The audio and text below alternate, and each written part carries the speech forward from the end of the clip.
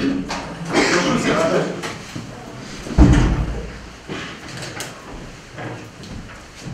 Приговор вынесен в полном объеме, оглашает свободное изучение части приговора. Приговор МВД Российской Федерации 14 мая 2024 года, город Саратов.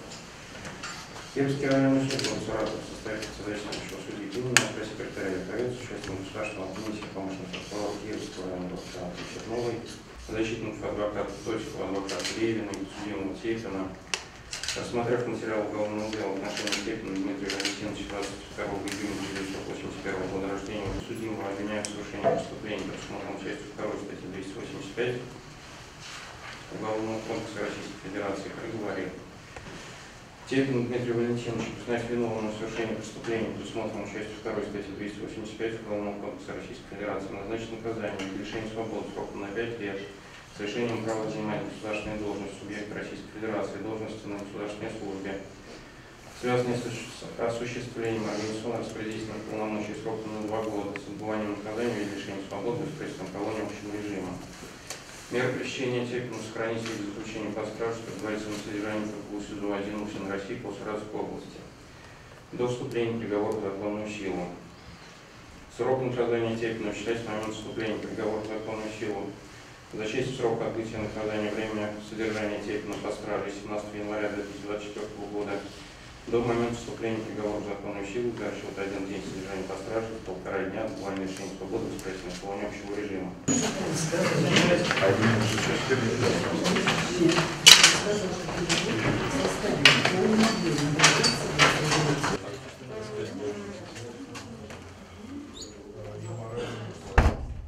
Сказать, что я ждала чего-то особенного от этого приговора, это ничего не сказать. Но я все-таки надеялась на какое-то чудо и на какую-то справедливость. Не срослось. Не срослось и не потому, что э, плохо работала защита. Не срослось потому, что это дело не столько уголовное, сколько имеет какие-то другие корни. Не моя задача говорить, какие, но это понятно.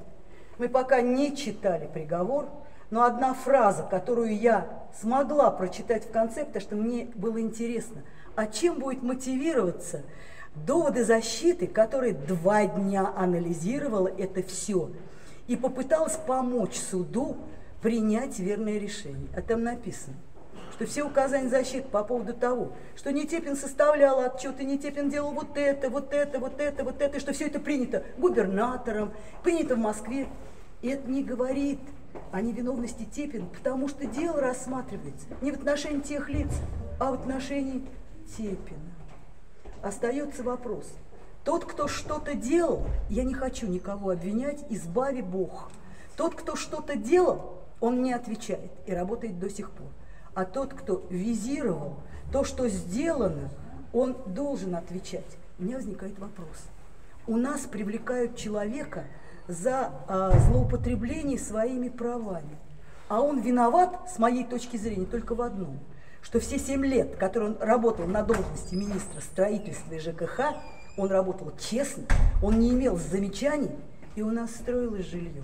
Вот совсем недавно, два дня назад, я прочитала информацию, простите, господа, от вас, что у нас в этом квартале не сдан ни один дом и не обеспечен, прошу прощения, ни один ребенок, сирота и оставшийся без попечения родителей. Я ни на кого не хочу пенять, но те, кто давали показания по делу Тепина, те, кто работали до него, работали в 8 раз хуже, по цифрам. Те, кто работали после него, в 10 раз хуже. И тот, и другой работают при власти, и к ним нет претензий. Вот здесь у меня возникает вопрос. Почему? Ведь перед законом равны все с фамилиями, статусами, должностями. Но получается, что есть кто-то, кто немножко равнее. Уж прошу прощения за этот вывод. Пока не готова комментировать приговор, скажу только одно. Приговор будет обжалован.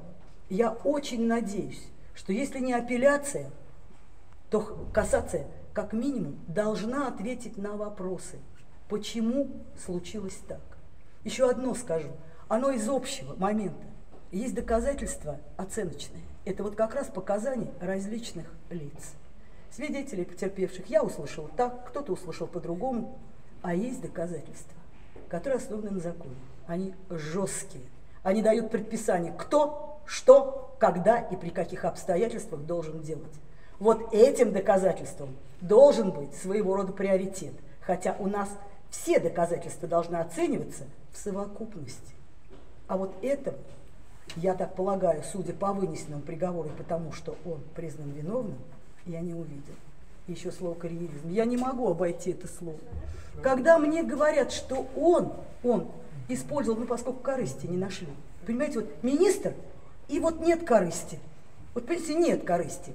И это такая печалька для страны обвинения. И они сказали, что он карьеризм использовал. Но по закону он должен использовать это, получая личную выгоду. У меня возник вопрос, а какую личную выгоду получал от этого Типин? То есть он разваливал, по мнению обвинения, эту программу для того, чтобы его считали хорошим, гладили по головке и говорили, как же здорово он работает. Но это же абсурд.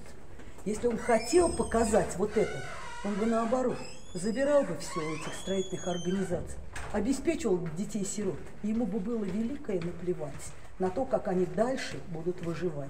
А он о них думал. И не один раз сказал, можно было бы забрать, но тогда они бы остались ни с чем.